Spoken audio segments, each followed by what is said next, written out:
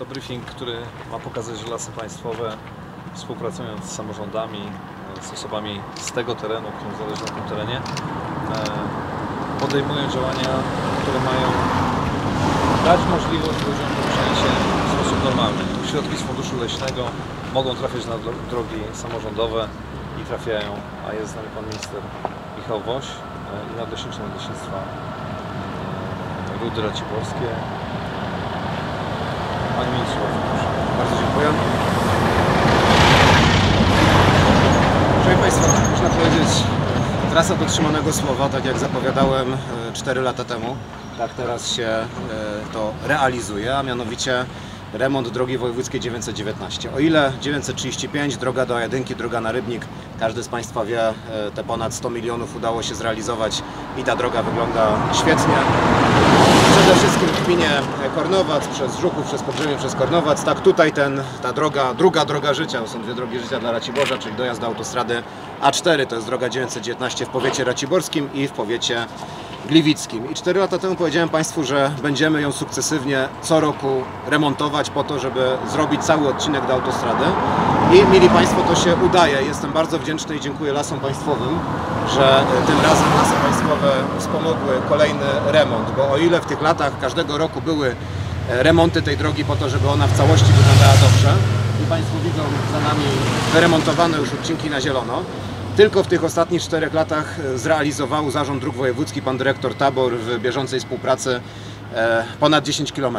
W tej chwili, Szanowni Państwo, trwa remont, jesteśmy przy drodze, która jest remontowana i to jest odcinek aż 5-kilometrowy, przede wszystkim w gminie Nędza w Szymocicach. Łącznie przez te 4 lata e, miliony złotych tutaj przekazane, a dokładnie 26 milionów złotych, jak Państwo widzą za moimi plecami, skumulowane przez tych kilka lat i 15 km, a przed nami pewnie kolejne odcinki po to, żeby ta droga, która wyglądała fatalnie, po prostu dało się nią jeździć, była dobrym dojazdem do e, autostrady. I chciałem gorąco podziękować Nadleśnictwo Rybnik, ale też e, dyrekcji e, katowickiej, śląskiej naszej, dyrektorowi generalnemu Józefowi Kubicy, bo podjął decyzję także o dofinansowaniu tej drogi. 8 milionów złotych zostało zaproponowane województwu jako wkład lasów państwowych tą drogę o znaczeniu leśnym. To, że ta droga ma znaczenie leśne, pewnie więcej powie Pan Nadleśniczy, ale ten wielki program lasów państwowych związanych z dofinansowaniem dróg, e, uruchomiony na stulecie niepodległości 100 milionów, w tej chwili już kilkaset milionów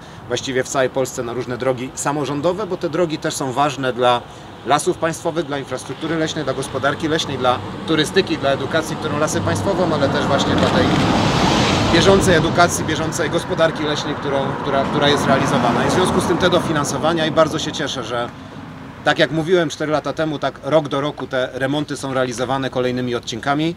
E, Już 10 km, teraz 5 km aż łączne dofinansowanie lasów 8 milionów, a e, przez te wszystkie lata 26 milionów i pewnie e, no zostało nam niewiele, bo zostało właściwie tylko 5 km do wyremontowania takiej em, nawierzchni słabszej, gorszej.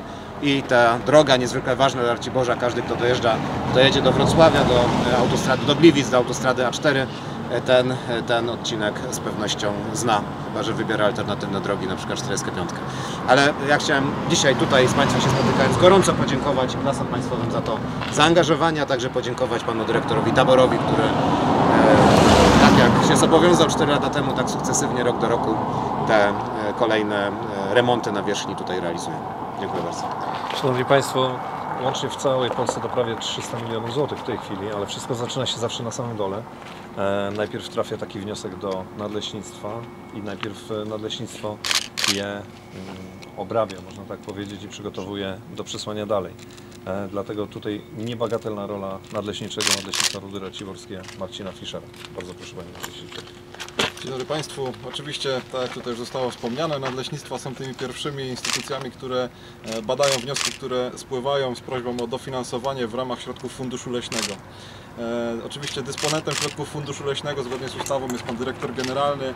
Tutaj oczywiście słowa podziękowania i słowa uznania dla Pana Dyrektora Generalnego Józefa Kubicy, który e, podjął decyzję o dofinansowaniu akurat tego przedsięwzięcia, które no, poprawi bez, bezwzględnie jakość dróg tutaj u nas w regionie. E, Te wszystkie drogi analizowane są pod kątem docelowej sieci drogowej w lasach państwowych.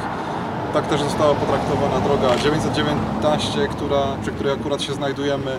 No i cóż, e, to jest oczywiście jedna z wielu e, przedsięwzięć realizowanych na naszym terenie, bo praktycznie we wszystkich gminach, we wszystkich gminach na terenie tutaj powiatu raciborskiego te, te inwestycje, te, te przedsięwzięcia są realizowane. Nadleśnictwo Rudy Raciborskie e, obejmuje swoim zasięgiem 16 gmin i częściowo sięga na 5 powiatów, tak więc mamy co robić, realizujemy konsekwentnie e, politykę lasów państwowych.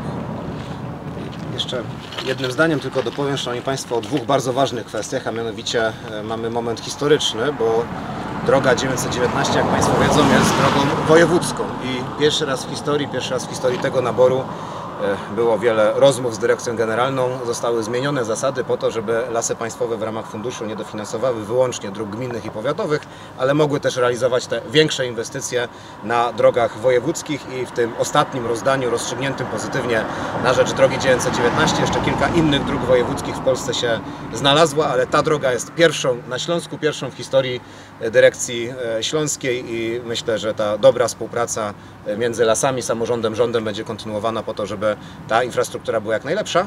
A druga sprawa, jak powiedział Pan Nadleśniczy, właściwie w każdej gminie w powiecie raciborskim Fundusz e, Leśny i Lasy Państwowe już przekazały no, ponad 10 milionów na te wszystkie drogi, także tu w gminie Nędza też te drogi dojazdowe, drogi powiatowe, Górki Śląskie, w gminie Rudnik cały szereg różnych dróg, w gminie Kornowac, więc cieszę się, że te zaangażowanie jest tak wielkie i że te miliony sprowadzamy, miliony dla Śląska trafiają na Raciborszczyznę. Raciborszczyzna nie jest zapomnianym regionem, była wprawdzie do e, jeszcze kilku, ka- kilka kadencji temu. E, Wielu pamięta, jak e, mówiło się o tym, o tych peryferiach województwa śląskiego. Teraz spokojnie można mówić, że te inwestycje, te miliony tutaj sprowadzane świadczą o tym, że my, u nas zaczyna się województwo śląskie, my jesteśmy w sercu województwa śląskiego, w sercu Polski i te wszystkie inwestycje tutaj muszą być prowadzone i wszyscy pewnie byśmy chcieli, żeby dalej były kontynuowane i żeby te znaczenie naszego regionu było jak najwyższe. Dziękuję Państwu bardzo. Jeśli są pytania, to jesteśmy do dyspozycji. To są trzy odcinki tam zaznaczone na zielono, rozumiem, tak? I to jest One taki... są łącznie, to w ostatnich latach, w ostatnich latach, teraz w tej chwili jest robiony odcinek 5-kilometrowy, ale on na przykład jest podzielony w samym przetargu na cztery różne odcinki. Czyli jeden przed Szymocicami, drugi za dojazdem kolejowym i tak dalej, i tak dalej. Później mamy kawałek wyremontowany, później ta droga e, przez las aż do samych e, ród, do granicy, e, w rudach do granicy miejscowości. Więc to są po prostu etapy, które są robione. Natomiast poprzednie odcinki już były, no w Jankowicach przecież wielka inwestycja, cała przebudowa. Chodnik, pamiętam jak byłem na spotkaniu z burmistrzem Machą w Jankowicach, jak było spotkanie sołectwa i mówiliśmy o tym, że jest, będzie chodnik, że jest przetarg. Mówili mi wtedy członkowie Rady Sołeckiej, że czekają aż im ten kaktus wyrośnie na ręce i jak ostatnio się z nimi spotkałem e, e, trzy miesiące temu, to sami wspominali i cieszyli się, że jednak nie wyrósł, więc, więc, więc e, dotrzymuję słowa i, trzeba tak realizować, żeby te dojazdy, ta infrastruktura drogowa była jak najlepsza dla wszystkich mieszkańców ziemi raciborskiej. Czy pan poseł się orientuje, czy to jest taka, e, znaczy zerwanie tej warstwy i nałożenie nowej, czy to jest przebudowa, bo na tablicy, jak tutaj się dojeżdża, tam pisze przebudowa. Właśnie to... Wszystko, wszystkie decyzje podejmuje Zarząd Dróg Wojewódzkich i niektóre są odcinki, gdzie jest przebudowa rzeczywiście, bo tego wymaga ta podbudowa. W innych miejscach to jest e, lepsza warstwa jest remont, czyli e, szybka wymiana nawierzchni. Też zależało nam, były różne dyskusje, e, ale zależało nam, żeby w tym trudnym czasie dla mieszkańców Raciborza i ziemi raciborskiej nie generować niepotrzebnie korków i stąd w wielu miejscach jest szybki remont po to, żeby no, nie było to uciążliwe.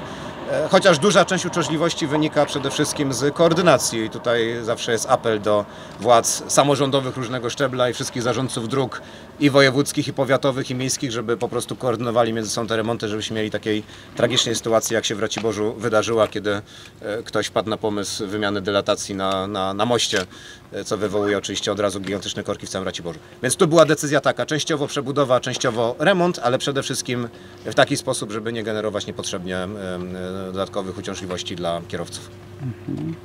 E, Czy to, że pan dziękuję panu Zbigniewowi Taborowi, czyli szefowi Zarządu Dróg Wojewódzkich, a na przykład nie władzom województwa, to jest mm, przypadkowe?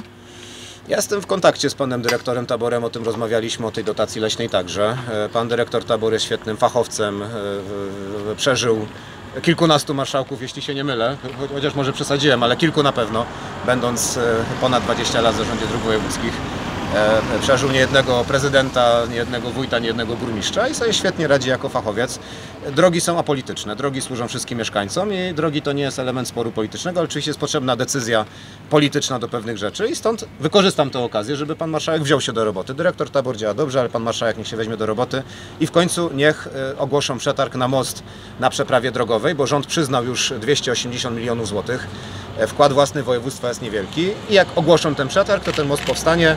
Wzywam do tego już od dobrego, dobrych kilku tygodni, a jakoś ruchów po stronie pana marszałka nie widać. Odbieram to jako e, celowe, niedobre działanie polityczne, a skoro pan marszałek tego nie chce, to przy tej okazji za pośrednictwem pana redaktora wezwę lokalną platformę.